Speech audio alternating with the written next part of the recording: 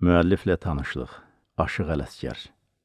Azərbaycan xalq şeirinin ən böyük nümayəndələrindən Aşıq Ələsgər bir sıra görkəmli aşıqlardan dərs almış, özündən sonra gələn aşıqlara qüvvətli təsir göstərmişdi. Hələ kiçik yaşlarından tez-tez müxtəlif məclislərə gedən aşıq dərvişlərin nağıllarına, aşıqların dastanlarına həvəslə qulaq asır. Güclü yaddaşı olduğundan eşitdiyi söhbətlərin hamısını hafizəsində saxlayaraq, heç bir çətinlik çəkmədən başqalarına danışardı. O, aşıq yaradıcılığının bütün sahələrinə müraciət etmiş və Azərbaycan ədəbiyyatında böyük iz buraxmışdı.